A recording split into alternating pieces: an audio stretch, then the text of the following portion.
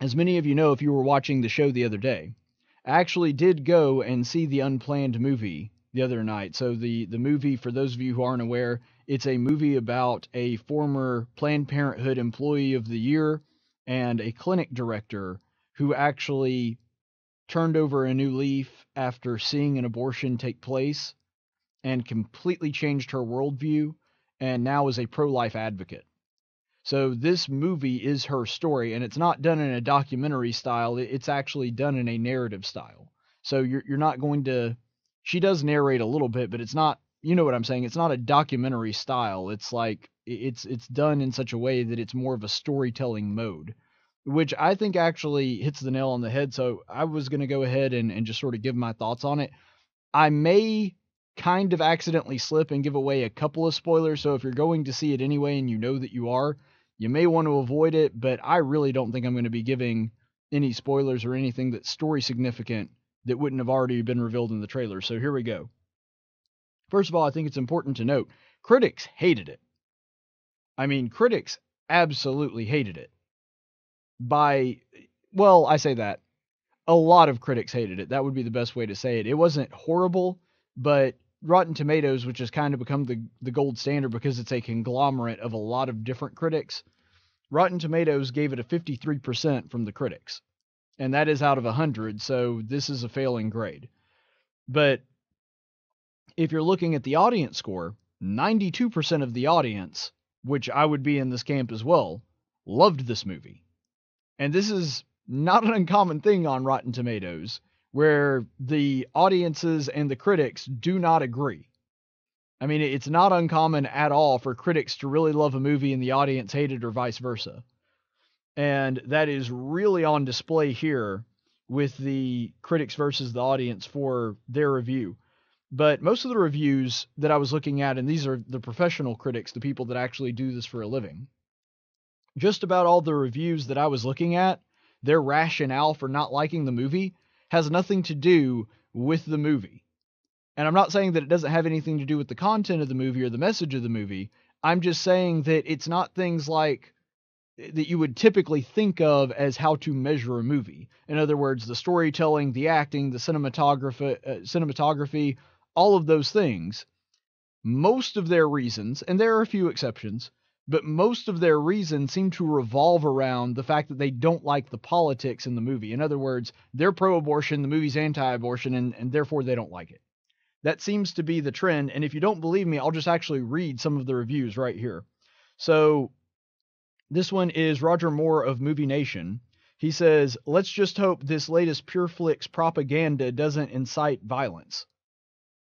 This guy's really afraid that this movie is going to incite violence. I mean, it's just a blatantly obvious, stupid thing to say, especially considering that if you watch this movie, and again, this is a minor spoiler, but I don't think it's a huge deal, they actually do address that there were terrorists that attacked a abortion doctor and they talked about they basically don't talk about it they they show instead of tell which is a good rule of thumb in a movie anyway but they they sort of show how scared the actress is and, and how terrifying that is, which it is. I mean, nobody should have to live in fear of that. Of course, the, the violence is wrong, but even if you took that scene out, I don't think there's any chance that this movie incites violence. But they put a scene that actually specifically decries violence in the movie. So I don't really understand his criticism there. Uh, another one abortion is a serious topic. This movie is ridiculous. That's Jordan Hoffman from The Guardian. That's not a critique of the movie. That's a critique of your political beliefs. You're saying, well, the movie's ridiculous. That's not criticism. I mean, it's not constructive criticism for sure. There's a difference in saying, okay, well, the, this aspect of the film could have been better, and they made a couple mistakes here, here, and here. There's a big difference in that and saying, ah, it sucks. That's not a critique. And so he's saying basically again, because I because I like abortion and this movie is anti-abortion, I don't like the movie. Um, another one, Adam Graham, it's strictly to rally the base. In other words, he's saying the whole point of this movie is to rally the base and create a political movement. And so I don't like the movie. Well, first of all, if it does rally the base, who cares? That doesn't mean that the movie is bad or good. That says nothing to the quality of the film itself. Maybe it rallies the base, maybe it doesn't, but that bears absolutely no weight whatsoever on whether or not the movie was enjoyable to watch or was a good movie versus whether it was not a good movie. So again, not a criticism, just a guy that doesn't like the politics of it. And here's another one. This is Luke Thomas of Forbes. Perhaps the most bipartisan thing I can say that is if you like Trump rallies, especially one featuring Mike Pence, this is probably the movie for you. I don't say it as a compliment, but I suspect all involved may take it as one. So first of all, openly mocking Trump supporters in his in his review here. So that's one thing. And another whether or not somebody likes a Trump rally or not, which by the way, I'm not a fan of the Trump rallies. I think I've been pretty clear on that even though I really love this movie. But whether or not somebody's a fan of a Trump rally or not and would also like the movie, that still is not a criticism of the movie itself. And that's what it's so abundantly transparent. And like I said, there were some reviews that were a little bit more substantive and less subjective than these, but most of the negative reviews on here were just, well, I don't like the politics of the movie, and, and so because of that, I don't like the movie. That's generally what they all distill down into, and that explains why the critics really didn't like the movie and the audience really did. 92 is an absurdly high mark on the audience like or dislike scale. So, by contrast, just to give you sort of an idea of how common this sort of thing is on Rotten Tomatoes, by contrast, Captain Marvel got a 78% from the critics and a 60% from the audience. So 78, and it actually used to be higher. I believe it was uh, 85 ish when it started and there have been some bad reviews that came out since then. But the critics thought that it was pretty good and it's certified fresh, which means it gets a passing grade on Rotten Tomatoes. But I mean, it's getting absolutely destroyed by the audiences. And I'll say this about Captain Marvel. This isn't a review of Captain Marvel, so I'll just give my my real quick stance on it. It's a mid-tier Marvel movie. It's all right. It's about around the caliber of Iron Man 3 or, or Thor 2. That's about where it is. It's not horrible. If you're sitting alone on the couch and you've got nothing to do on a Saturday afternoon, yeah, watch Captain Marvel, but it's not groundbreaking cinema. And so this is an example of a bunch of very far left leaning film people that are looking at a film that has some pretty overt social justice warrior overtones that I didn't think wrecked the movie, but it certainly didn't help and they look at that and they really like the politics of that one, so they give it a score much higher than it probably deserves. And then they're looking at this movie, which has a political message that they don't like, and they're saying, well, the movie's bad because I don't like the political message. So, I mean, just take that with a grain of salt when you're looking at that. The critics hate it, which, I mean, if anything, makes me like the movie more. Acting in this, and I'm just going to sort of give my review of what I thought about it the acting is pretty solid. There are a few times where I thought that the acting could probably have been better, but overall, I thought great performances by the entire cast all the way around, um, especially by Ashley Bratcher, who is the main character. She plays Abby Johnson, and uh, also Robia Scott, who sometimes it's weird to praise the villain of the story, but uh, she was intimidating she did a really, really good job with that character. And even though with an enemy, it's weird because the whole job is the, the way you know that they did a good job portraying that character is that you didn't like them. She did a great job in that. I really didn't like her. I really got frustrated whenever she was on camera, and that's a good thing because that's how the villain is supposed to be portrayed. So Robia Scott, I thought actually did a fantastic job. She may have done just as good a job as Ashley Bratcher in this movie. Uh, the cinematography is surprisingly good. I actually do think the cinematography is really good. And the way that they would cut back and forth to uh, Abby and then to the abortion procedure and the way that they would build tension with it. And especially at one point that they're showing, again, I don't want to give too much away, but they're showing parts of an abortion. It is scary and terrifying. And it really is gut wrenching, which is the point of that scene. And so I thought the cinematography did surprisingly well for such a low budget film, and the direction was was pretty good. A couple of weaknesses that I do want to mention. It does get a little close to having a cartoonish villain, and that's something that Pure Flix sometimes runs into a problem with, that their villains are so overtly pure evil that it almost seems like a caricature of a villain. It came close to that at times, but it was rare that it did. And when it did, they usually walked it back and made the villain seem a little bit more human. So I actually, like I said, I thought Robia Scott did a great job with the acting of that character. And even though it got a little close to it at times, it never crossed that threshold. So even though I would be a little critical of that, it's it's a nitpick for sure. And one other weakness that I thought in the movie, the music's just not great. It's not terrible, but it's not a soundtrack that you're going to remember is the best way to say it. It didn't take me out of the movie. It didn't well, I take that back. There was one point where the music kind of took me out of the moment, and it's a very upbeat, uplifting kind of song. I don't remember what the song was, but they do it while they're trying to get all these abortions in one day because of a hurricane, which it seemed like for an anti-abortion movie a really weird pick to have an uplifting, upbeat song and treat it as an accomplishment that they got all the abortions done. Thought that was a weird pick for that point in the movie. But uh, that was really my only criticism. And when you consider the entirety of the movie and how good I thought it was, those are nitpicks at best. Overall, a fantastic film. It looks like we have a caller on line one, so let's go ahead and go to the phones. Good afternoon. What's on your mind? Hey, good afternoon. Yeah, wanted to uh, put my two cents in on it too, since I saw it last night. Sure.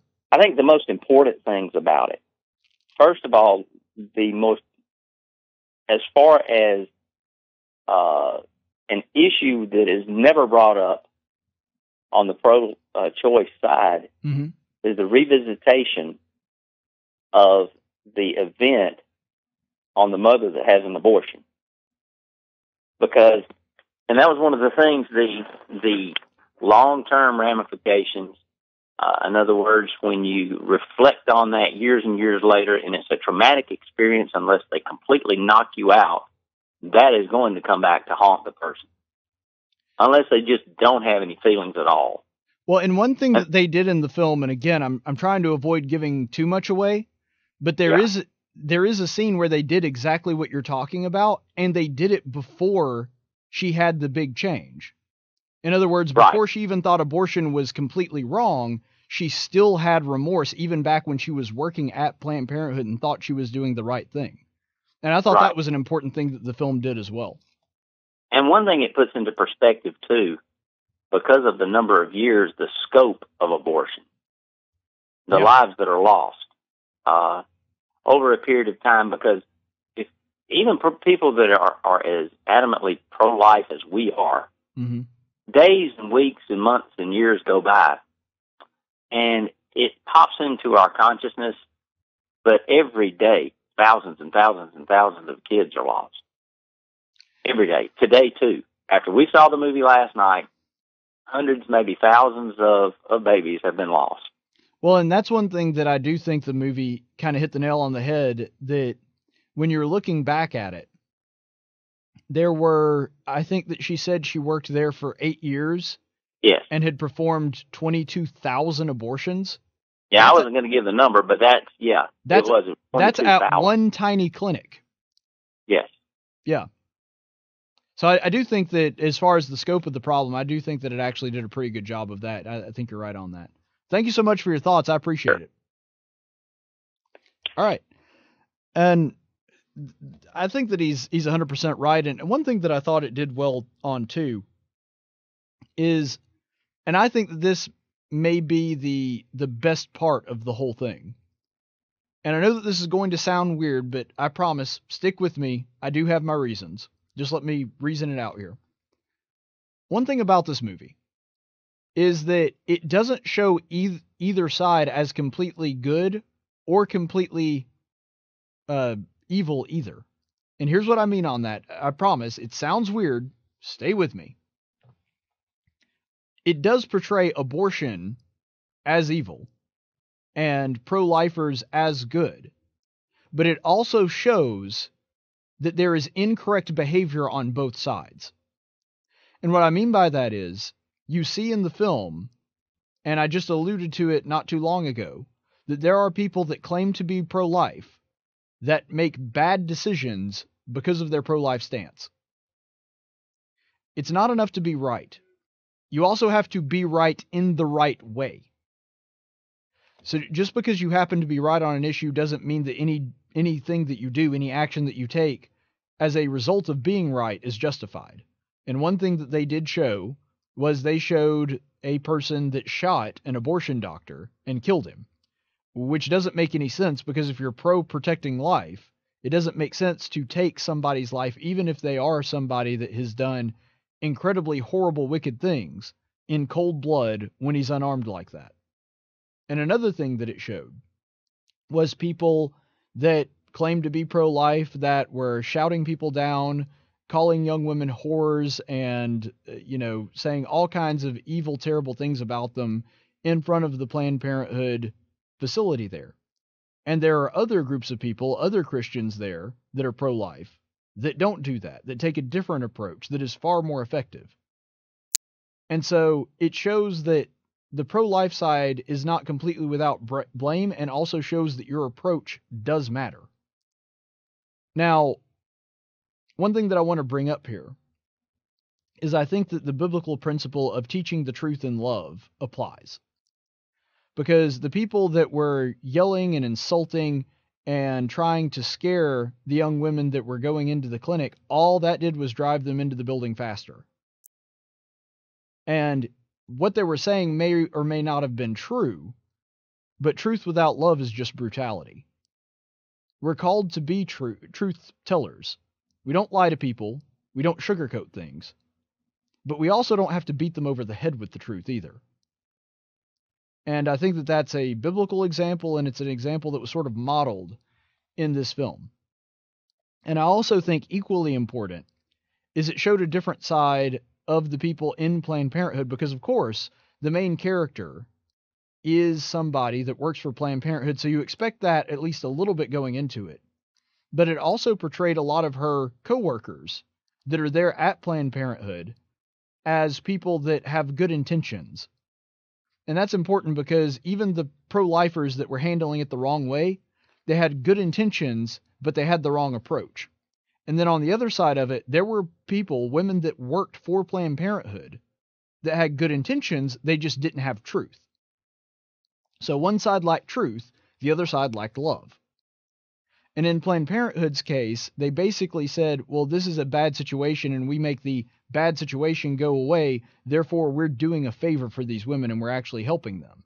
And it takes the character a long time to get to the point where she realizes that she's lying to them, that she's telling them to do something that is not good and not right and not helpful. And so, because of that, and because it does show that other side, there are a couple of characters that know what they're doing and they understand what's actually going on. And they there's really no redemption for them. And i'm not saying that their sins couldn't be forgiven. I'm saying that you know there's no redeeming qualities for them in this portrayal of this particular movie but there's a lot of characters in there that were on the pro-choice pro-abortion side of it that it's portraying they actually think they're doing the right thing and I think that's important to remember because if we remember that they think they're in the right, it is going to cause us to show a little bit more compassion and maybe change our approach. Because if we continue to think of everybody as monsters, it's going to be very far, it's going to be very difficult for us to reach out to somebody. And we have to also remember that we've been engaged in sin and we have done things that we thought was the right thing to do at the time, only to look back and realize that we were completely wrong. Anybody that hasn't done that is either not thinking or thinks far too much of themselves and doesn't realize their own shortcomings. So that's part of the reasons that I thought that it was it was a really important film from that direction. And I'll say this about it as well, just sort of as a passing thought a lot of conservatives are saying that it didn't deserve the R rating. And while I understand where they're coming from, and I do agree with their analysis that a movie that wasn't anti abortion, that agreed with the politics of the people rating the movies, honestly, the same stuff being showed in that movie probably doesn't get an R rating. That's probably safe to say. However, personally, just coming at it from my perspective, what taking the, trying to take the politics out of it as much as possible, if I were watching this movie and you ask me how I would rate it, I would probably give it an R rating too. Because if we're saying that it doesn't deserve an R rating, what we as conservatives are sort of saying is, well, an abortion isn't something that is a traumatic, horrible thing to witness, even though it is. And that's one thing that we've got to remember is that if we are saying, well, it doesn't deserve an R rating, aren't we somewhat implying that witnessing an abortion take place isn't something that is deeply troubling and disturbing to people? Now, do I think that my fellow conservative brethren are correct in saying that it probably got its R rating because of politics and because people didn't want teenagers to see this movie? Yeah, I think that's probably a fair assessment. But whether or not the reason behind the rating is correct or incorrect doesn't mean that the rating itself is incorrect. That being said, if you are a parent, especially if you have teenagers, I think that this is a very important movie for them to see. And there are parts where it is graphic, and there are parts where it is very, very hard to watch. But it is worth it. Because its graphicness and the I don't even want to say gore, but the, the, the more disturbing scenes are what forces you to sort of look this issue in the face and remember that's some that's an image that's going to stick with you. That's an image that you're going to be able to remember when you're thinking about what is actually happening and what is actually going on when people talk about different kinds of abortions, that kind of thing. So, arming yourself with knowledge, I think, is is something that is important even if it is disturbing and uncomfortable. And the movie tells you right out, I think in the very first scene, that it says the, the story is going to make you squirm a little bit. And certainly they were not right. There were scenes where I have a very strong constitution, a very strong stomach. I'm a news guy. I've seen ISIS behead people. I mean, I've seen some of the most grotesque things you'll ever see, and it made me very uncomfortable. So I get that the movie's going to be a little bit hard to watch at times, but I do think that the overall message is worth it. And it is a movie that, in my opinion, every single person should see.